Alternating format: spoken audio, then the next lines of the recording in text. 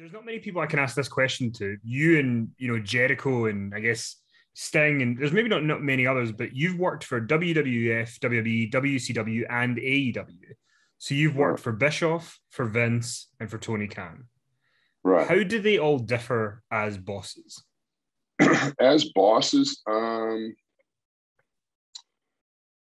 they're all completely unique and different. Um, the the one thing they do have is they have and I they have the ability to manage a lot of egos. I think when you're in that position, you have to be able to manage egos and you have to have a vision of where you're going and what you what you want to see.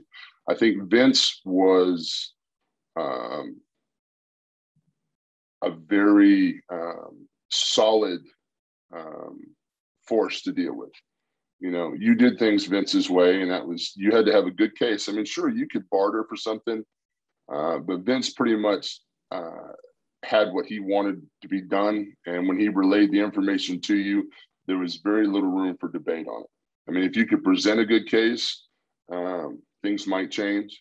Um, I think Chris Jericho is only one of the best that I've ever seen in my entire career. The ability to to communicate to Vince on how Chris Jericho should do things. I think one of my favorite times in my career was being Chris's partner because I never had to I never had to to do the politicking or the uh, angle arguing or any of that. Chris, because Chris did all that.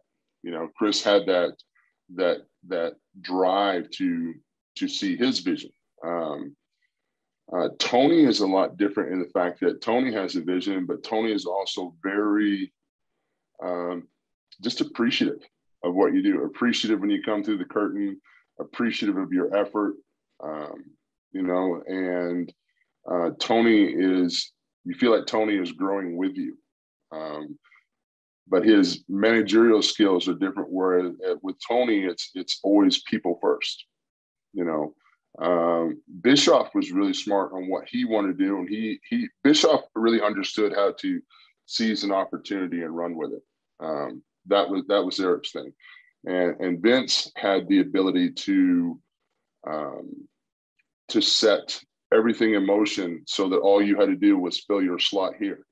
You know, uh, he had a plan, he had a vision. I remember Vince used to have he used to have in his book he would you would know who you were working with the next 10 11 12 months next year out who you were working with for the next year you know so that was a very structured environment in wwe um, then to leave that structured environment and with tony it, it is about input it's about you know how do we make my personality and what i want to do fit with what tony wants to do what aew needs uh, he's still the boss. There's no ifs, ands, or buts about that. Like the inmates aren't running the prison by any means you know, but it's just a, a, a little bit easier environment to uh, to talk to and, and to to pitch your ideas. Like with sometimes with Vince, because he's done this for so long and, and he's uh, a generational owner, second generation owner. Um, Vince has a structure on what he thinks works. And it's pretty much his way, and he's the boss, and he signed the tickets, and that's the way it works. So if you're going to have an idea contrary to Vince's, it better be a really good idea you know, and, and, and I've done things with Vince before where we've talked about it and, you know, the idea did have merit and he understood it, but um, very rarely was I ever able to change Vince's mind on anything. Very rarely. It just, it just got to a point where I just felt like, yeah, well, he probably knows what's best. You know, you know, with Tony, uh, Tony really takes advantage of my experience and the things that I've done and really appreciates my input and not just on myself, but input on on our shows and what we're doing and talent that's that's improving and and and just the concept of what we're doing because I understand what Tony's building and that excitement and synergy is a uh, incredibly positive environment to be in. You know, um, that's the difference. You know, and and Eric, I think Eric was just like uh, at the time because no one had ever been through anything like the Monday Night Wars, the Attitude Eras, or the way the business got popular and the kind of ratings were pulling you know, Eric was seemed like to me like a guy that was doing everything he could with his foot wide open on the throttle.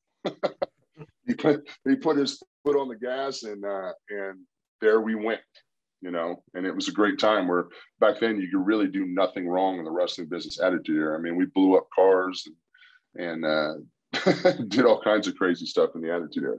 And then the business changes and evolves, and that same energy I think that same energy from the Monday Night Wars we definitely have back now with CM Punk coming back. That same energy I felt in the United Center where I was like, you can feel when things are turning around for the positive, you know, because we've been in a lull, of course, after the pandemic, everybody took a hit.